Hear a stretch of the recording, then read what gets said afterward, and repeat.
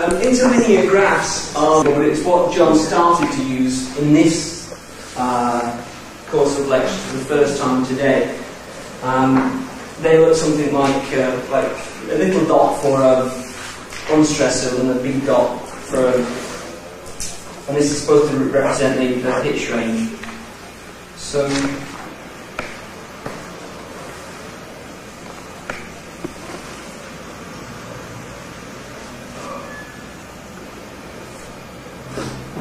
and this represents a pitch change.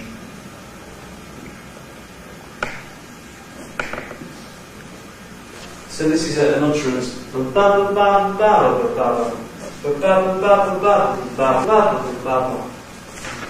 In fact, um, this is a, obviously a convenience to have this as a, two horizontal lines.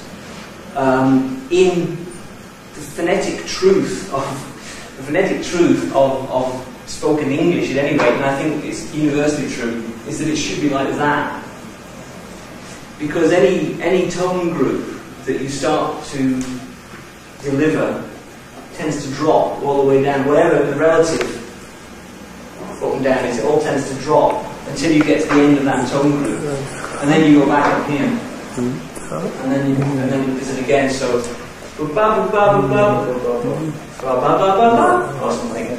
But the, whole, the whole thing is reset here.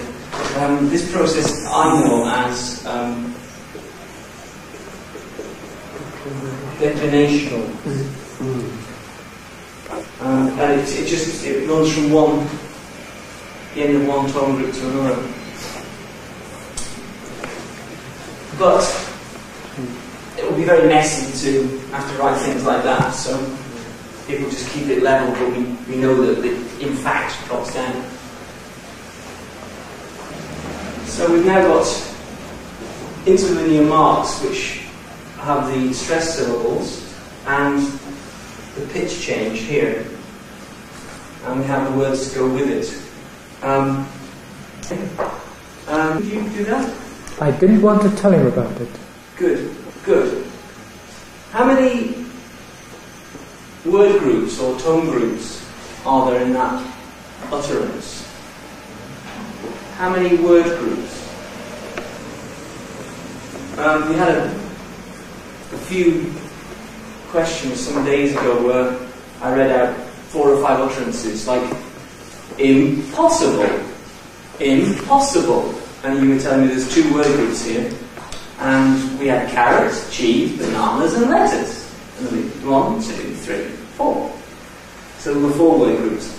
What I'm asking is that hearing this spoken with this intonation pattern, how many word groups? Maybe, maybe there are two possibilities, maybe there's one possibility. Where's the nucleus? Tell. Tell. What kind of a nucleus is it? High, high fall. So, and what's um, what's hap- What's this? What's happening here? Tail. And the pitch is flat, really. So you'd have to you'd notate the stress on this with a little circle. Didn't want to tell him about it, but is there any possibility that there is a second nucleus here, anywhere? Hmm? And what kind of nucleus would it be if it was? So the head or It would, yeah, I would think that I can't see how you can have. I didn't want to tell him about it. I can't see how you could have in that, from that shape, more than one tone group or word group. This will be the head. I mean, I think John Wells is going to do the, the, lecture, the lecture tomorrow on types of head. So I don't want to jump ahead of that. We can talk about the different types of head in tomorrow's class. But uh, uh, we have worked on word groups and amounts of word groups, and I just think that that whole shape with that nucleus seems to be impossible to say in more than one word group. But um, there are other possibilities. Read the sentence out with that intonational shape. Could you try saying this? I didn't want to tell him about it. I didn't. I didn't want to tell him about it. Right, that's getting that's getting more likely. Okay. How many word groups are there here?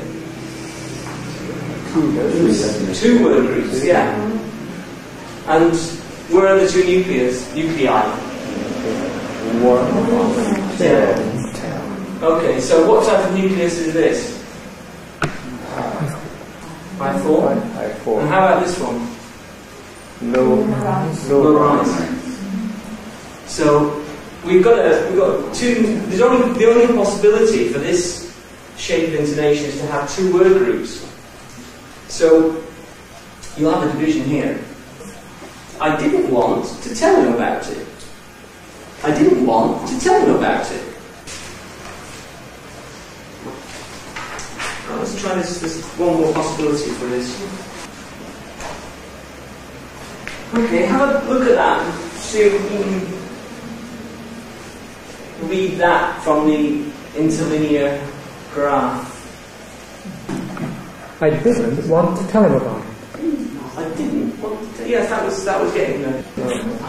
So, just uh, let me let me try and do it in a, native speaker's um, my intuitive pronunciation. of This would be. I didn't want to tell him about it. I didn't want to tell him about it. I didn't want to tell him about it. The first two times I was doing this too low. Actually. I didn't want to tell him about it. I didn't want to tell him about it. How many word groups have we got? Yeah. So we've got two word groups, but we've got a division here instead. Um, and the, the meaning of this is simply to push the negative up, focus the, the on negative. I think with yesterday's lecture, I think John Wells was talking about how we, we, we actually can narrowly focus contracted negatives in, uh, in English. And this is what's happening here. So you've got two word groups and two nuclei.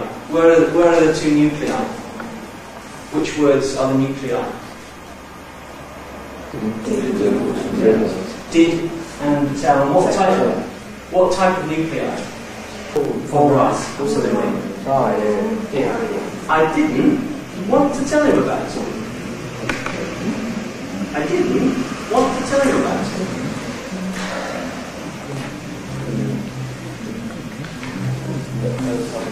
So um, you can actually learn. You can actually learn to, to relate this the, the, the strict pitch information to the um, notation, the uh, intonation notation, the O'Connor and stuff, can be directly related to um, just what it look like music, in effect, just up and down the pitch range that the speaker has.